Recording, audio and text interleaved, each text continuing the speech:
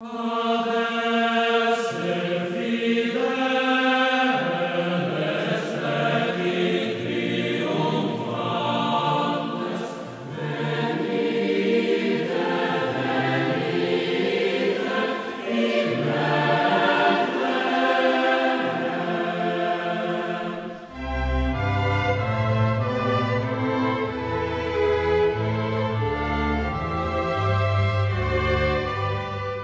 Paz e bem, seja muito bem-vindo a esse nosso oitavo encontro em preparação à festa preferida de São Francisco de Assis, com o tema Natal, a festa das crianças.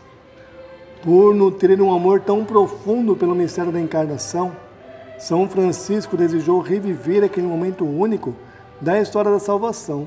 Por isso, há 800 anos, ele convidou seus frades amigos camponeses e toda a criação para recriar o momento do presépio.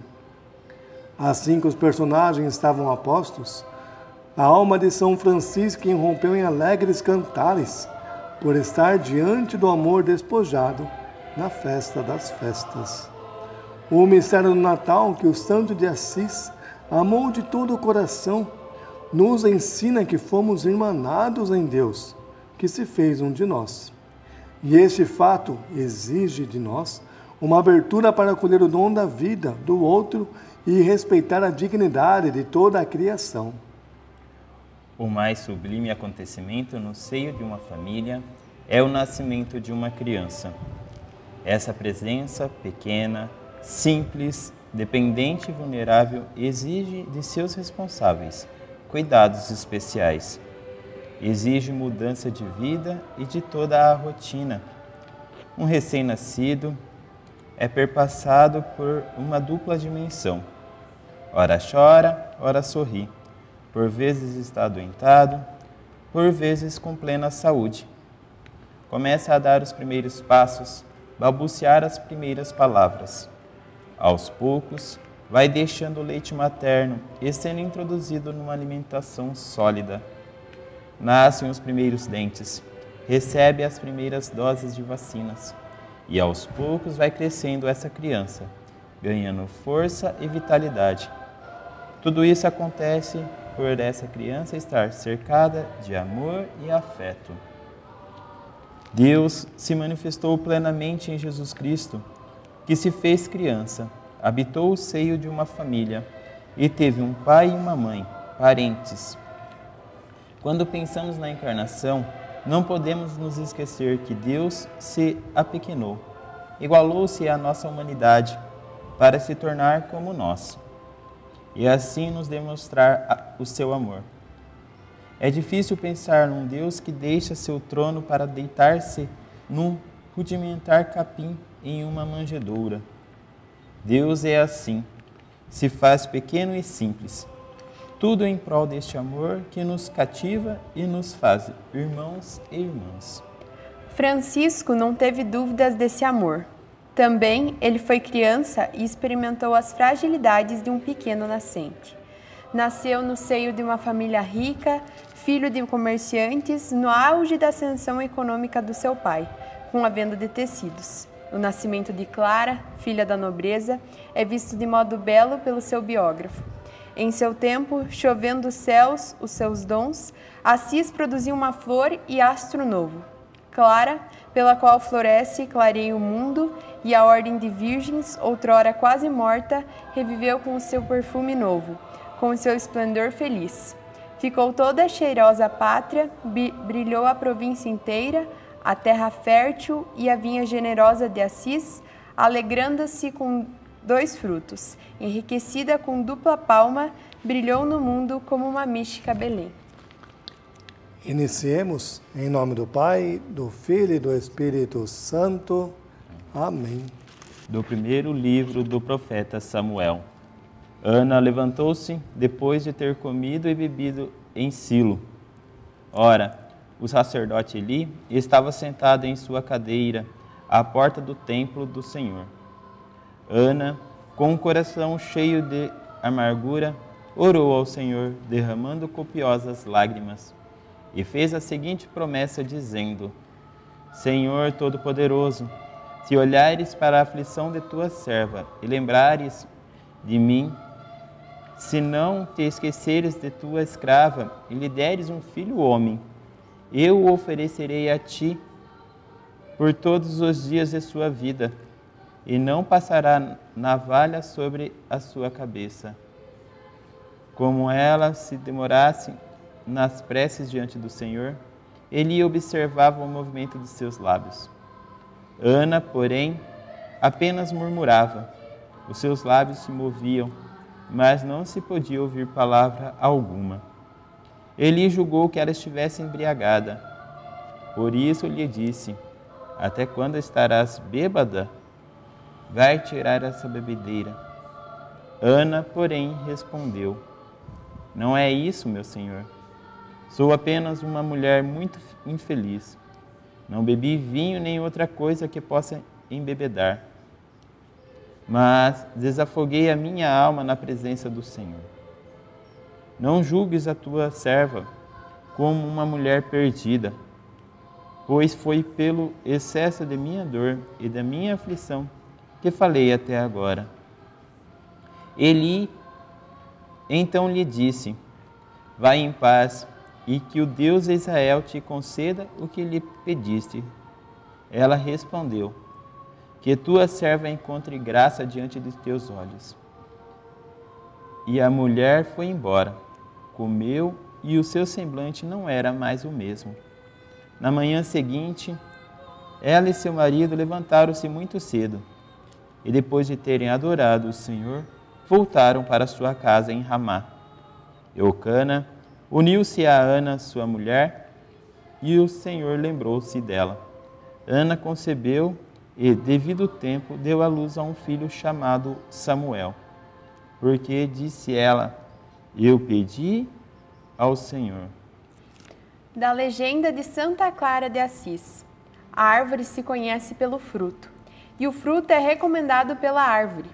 Já houve abundância de dons divinos na raiz, para que houvesse abundância de santidade no ramo pequeno.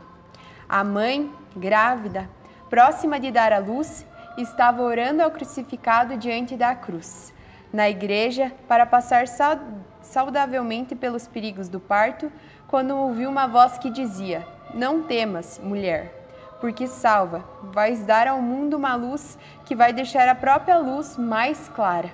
Instruída pelo oráculo, quis que a filhinha, ao renascer pelo sagrado batismo, se chamasse Clara, esperando que se cumprisse de algum modo, pelo beneplácito da vontade divina, a claridade da luz prometida.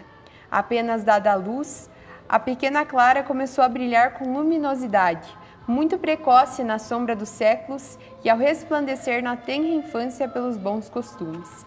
De coração dócil, recebeu primeiro dos lábios da mãe os rudimentos da fé e, inspirando-a e formando interiormente o espírito, esse vaso, em verdade puríssimo, revelou-se vaso das, de graças.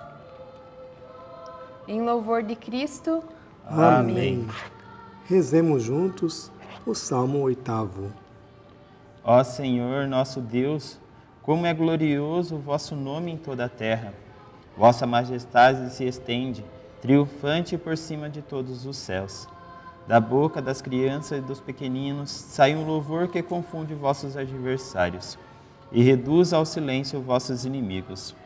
Quando contemplo o firmamento, obra de vossos dedos, a lua e as estrelas que lá fixastes, que ao homem, digo-me então, para pensardes dele, que são filhos, os filhos de Adão, para que vós ocupeis com eles. Entretanto, vós o fizestes quase igual aos anjos, de glória e honra o coroastes. Deste-lhes poder sobre as obras de vossas mãos. Vós lhes submetestes todo o universo. Rebanhos e gados e até os animais bravios, pássaros do céu e peixes do mar, tudo que se move nas águas do oceano. Ó Senhor, nosso Deus, como é glorioso vosso nome em toda a terra. Glória ao Pai, ao Filho e ao Espírito Santo. Como era no princípio, agora e sempre. Amém. Façamos em dois coros a nossa oração final. Santo, Santo, Santo é o Senhor Deus Todo-Poderoso, o que é, que era e que virá.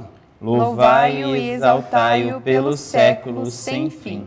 Digno sois, Senhor nosso Deus, de receber o louvor, a glória e a honra e o poder. Louvai-o e exaltai-o pelos séculos sem fim. Digno é o Cordeiro que foi imolado de receber o poder e a riqueza, a sabedoria e a fortaleza, a honra, a glória e a bênção. Louvai-o e exaltai-o pelos séculos sem fim. Bendigamos ao Pai, ao Filho e ao Espírito Santo. Louvai-o e exaltai-o pelos séculos sem fim. Obras do Senhor, bendizei todas o Senhor. Louvai-o e exaltai-o pelos séculos sem fim. Louvai o nosso Deus, vós todos seus servos, vós que o temeis, pequenos e grandes. Louvai-o e exaltai-o pelos séculos sem fim. Celebrem-no em sua glória os céus e a terra. Louvai-o e exaltai-o pelos séculos sem fim. Toda criatura que há na terra, no céu, debaixo da terra e no mar, e tudo quanto nele existe. Louvai-o e exaltai-o pelos séculos sem fim. Glória ao Pai, ao Filho e ao Espírito Santo. Louvai-o e exaltai-o pelos séculos sem fim. Assim como era no princípio, agora e sempre, pelos séculos dos séculos. Louvai-o e exaltai-o pelos séculos sem fim. Onipotente, Santíssimo, Altíssimo e Soberano Deus, que sois todo o bem, o sumo bem, a plenitude do bem, que só vós sois bom. Nós os tributamos todo louvor, toda glória, toda ação de graças, toda exaltação e todo o bem. Assim seja, assim seja. Amém. Apresentemos a Deus as nossas intenções a esta novena. Você que nos acompanha, pode, em um momento de silêncio, fazer a sua intenção, o seu pedido. Colocando todas essas intenções, rezemos como o Senhor nos ensinou. Pai nosso, que estais nos céus, santificado seja o vosso nome, venha a nós o vosso reino, seja feita a vossa vontade, assim na terra como no céu. O pão nosso de cada dia nos dai hoje, perdoai as nossas ofensas, assim como nós perdoamos a quem nos tem ofendido. E não nos deixeis cair em tentação, mas livrai-nos do mal. E confiando em nossa Mãe Santíssima, rezemos. Ave Maria, cheia de graça, o Senhor é convosco. Bendita sois vós entre as mulheres, e bendito é o fruto do vosso ventre, Jesus. Santa Maria, Mãe de Deus, rogai por nós, pecadores agora e na hora de nossa morte. Amém. Oremos. Senhor nosso Deus, ao nos preparar para chegar ao teu Filho no meio de nós, te pedimos que desperte o nosso coração, a fim de fazermos de nossas famílias, de nossa igreja e de nossa sociedade uma manjedora digna de tua presença. Ao acolhermos teu amado Filho, como fez São Francisco de Assis há 800 anos, nos dispomos como mulheres e homens, discípulos do Deus da vida, a semear a paz, a bondade e a justiça por todos os caminhos aonde formos. Fica conosco, Senhor. Isso te pedimos por teu Filho, Deus menino, na unidade do Espírito Santo. Amém. Dedicamos o um agradecimento todo especial à província Santa Cruz de Minas Gerais, que preparou esse material da novena e a você que rezou com a gente. Nosso muito obrigado e vamos à bênção final. O Senhor esteja conosco. Ele está no meio de nós. O Senhor nos abençoe e nos guarde. Amém. O Senhor mostre a sua face para nós e tenha misericórdia de nós. Amém. O Senhor volva o seu olhar para nós e nos dê a sua paz. Amém. Que pela poderosa intercessão de Nossa Senhora Aparecida e de São Francisco de Assis, dê sobre cada um de nós e nossas famílias a bênção do Deus Todo-Poderoso, em nome do Pai, do Filho e do Espírito Santo. Amém.